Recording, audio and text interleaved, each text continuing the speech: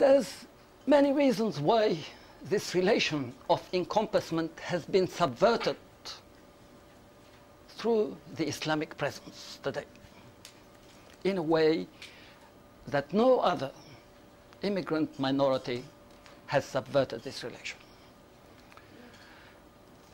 One, and again, I am not saying this is how it is for all Muslims or for etc. But there are what we might call today seriously religious Muslims. And it would apply to seriously religious anybody.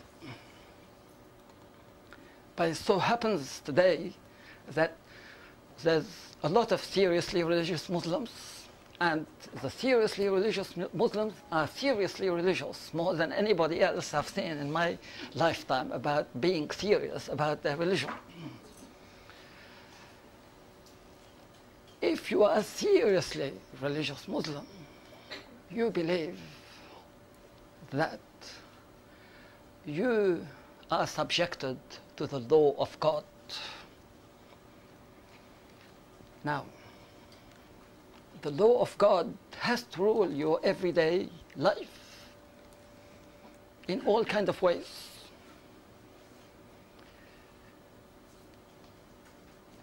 Now, it seems to me that it is easy for a national culture to encompass the law of eating salami but it is not easy for it to say the law of God has a little place here. And you can live the law of God as long as the law of Australia controls the law of God. This is by its very nature problematic. The law of God cannot be encompassed. It is all encompassing. And for a seriously religious Muslim, there is a subversion of the relation of encompassment.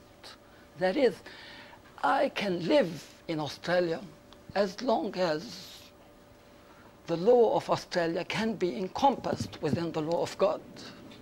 There's no way I'm going to accept that the law of God is going to be encompassed by what John Howard said, or even the founding fathers. God bless them all. This is one mode in which this relation of encompassment is subverted.